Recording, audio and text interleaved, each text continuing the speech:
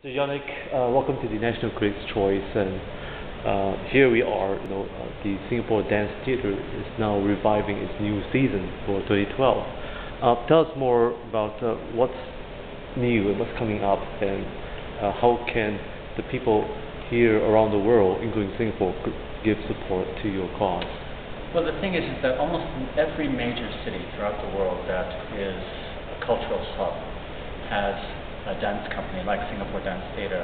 That's one of its flagship companies. Usually there are museums, there's symphony orchestras, there's theatre companies, and dance companies. And they don't necessarily mean that they're ballet companies, but that's why Singapore Dance Theatre is not called Singapore Ballet, because we represent both contemporary and classical worlds. And I think it's more and more the norm with dance companies to uh, show a wide variety of works. And this year with Singapore Dance Theatre, it's interesting, we tend to have years that we have a lot of new ballets, and then a year that we sort of hold off and, and use our normal repertory, and then a year that we have, and this happens to be a year in which we're doing a great deal of new work. Um, but we're showcasing at the beginning and the end two works that are very established in our repertory. Um, Swan Lake at the beginning, which we've done twice before, uh, and both times they were very successful people ask what's new about Swan Lake, and the thing is, is that it's tradition. There's what's new about it is the fact that you keep to the tradition. You establish something that's done at a very high level, theatrically, artistically, and as a classical dance company, and then you fine hone it. You give it more depth. You give it more character. You give it more style. So we have Swan Lake at the beginning of the year, and then we have Sleeping Beauty at the end of the year, and those are sort of like the bookends. And in between the bookends, we have five new works that will be done.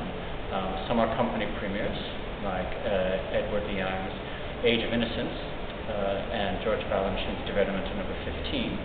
And then we have several choreographers, Toru Shimazaki, Val Caniparoli, that are making new works for us, that are made specifically for Singapore Dance Theatre, that have never been done before. And and in, in between that, we have our own repertory that we, we bring back because not everything can be new, not everything should be uh, old. So we have a mix. And in the middle of that, we do, actually, right in the middle of that, we do a children's work that's made for the wee ones, tiny ones. It's my favorite. Uh, and it's called Peter and Blue Go Around the World. And it's about a little boy, Peter, and his dog, Blue, and their cat, Calico that take a magical journey all the way around the world. And the idea is that they go to lots of different countries, but in the end, home is best, and they come home to their parents. I like that. Very well said. Tell us more about you know the soul of ballet eh, or dance, as you call it. You know what is the soul of, of ballet dancing all about uh, in your own description? It is about soul. it's about um, if you think about it as a language, movement is a language, and it's about the expression of how we feel as people expressed through movement.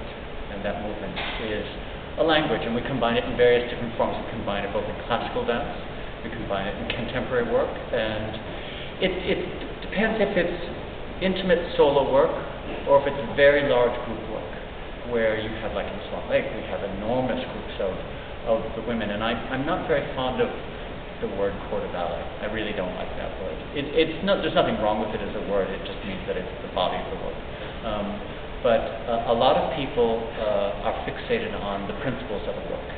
And one assumes that if you have a dance company, that your principals and your soloists will be of a very, very high quality. Um, but when you see the dancers that form the bulk of the work, when they're good, you know you have an excellent company. And uh, it's the soul of the company is really held in Singapore Dance Theatre in the fact that we have an equal balance between our group and our principals.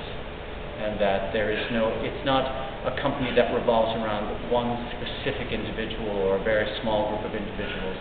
It's really about a very strong group of dancers overall.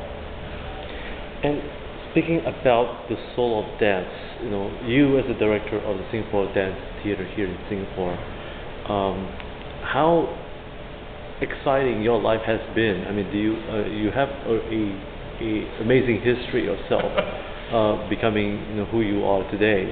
Uh, what's what's the secret of of your distinguished career?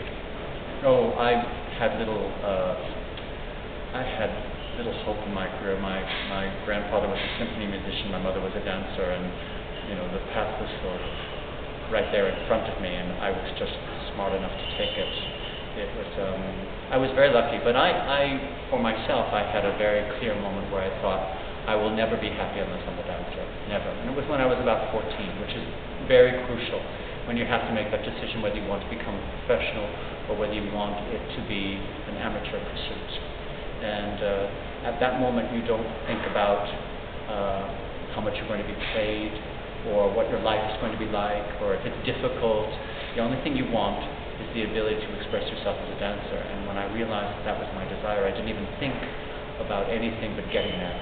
And so I was lucky um, and I was fortunate that I had enough gifts and I had enough support from my family that I could pursue it as a profession. No one, everyone was very pleased that, that that's what I wanted because it was very clear in my thought process that was my hope. And so going through that process of training as a dancer and getting your first job and finding your way through to become a, go from your very first year to get solo roles to go on to do principal roles. And then I sort of halfway through, people started figuring out that I was smart um, I sort of knew everybody else's roles around me, and I had a sense of someone other than myself. So I started teaching, and I started rehearsing, and then I worked with a very important Singaporean choreographer, Goh Choo San, as his assistant, and that took me all around the world staging his ballets. And then from there, I, when Singapore Dance Theatre was established in 1988, the first thing that went on stage was one of Choo San's ballets that I taught the company and I would come back on an annual basis until uh, it became inevitable that when they um, wanted to move forward with the company in a certain way, they asked me if I would help to do it and asked me if I'd be the director. So that's how I did it. So Janek, you know, speaking about the legacy of the Singapore Dance Theatre itself right now today, how do you see for the next five years uh, the plans for the Singapore Dance Theatre uh, taking its leap? You know, uh, and how do one, especially local Singaporeans and as well as uh, out, those who are outside of Singapore, how can they be part of this great uh, organization? It's interesting that you asked that because I just did a, a, a, conference on education in dance, and that topic came up very, very strongly. And uh, the example that I used is the fact that it's considered in great talent comes out of unusual places, and it doesn't matter if it's producing a great soccer player or a great ballet dancer or a remarkable violinist or a, a, an astonishing singer, it's because it's considered to be a noble profession. That being in the profession is very much more